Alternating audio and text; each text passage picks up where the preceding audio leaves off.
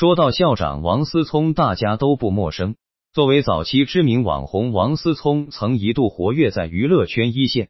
每当有各种娱乐消息时，王校长都会第一时间发表看法，甚至被大家称为娱乐圈纪委。不过，今年的王思聪就低调很多。由于受到失信影响，王思聪几乎是很少公开现身，并且在网上怒对别人的次数也减少，因此王思聪的热搜相比往年减少很多。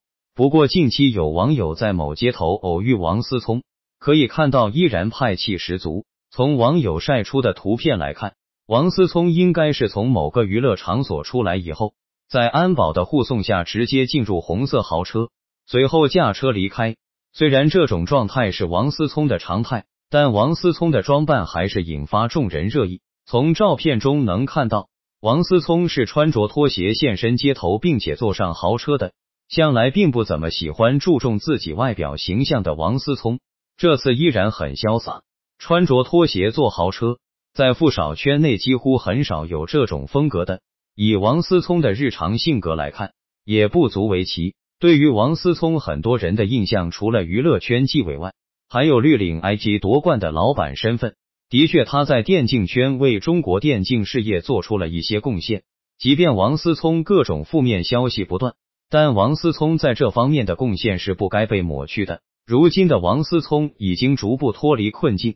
相信接下来他还能在电竞方面以及自己喜欢的事业方面更进一步。对于王思聪来说，也需要摆脱一些负面消息的影响。每年伴随王思聪的话题，除了热搜，就是身边的美女。前段时间和田畴分手后，引发一波热议。从每位女友的面相、颜值来看，这么多年来，王思聪的口味几乎是没有变化。包括这次网友街头偶遇王思聪。穿着拖鞋坐豪车，这种装扮也是没谁了。不少人都吐槽，真的是贫穷限制想象。看来王思聪的确是有一套的。期待接下来王思聪能在电竞事业方面继续给大家带来新的成就。其实依然有很多电竞粉丝在等着他。对于王思聪如今的状态，大家有什么看法呢？欢迎你们在下方评论区留言哦。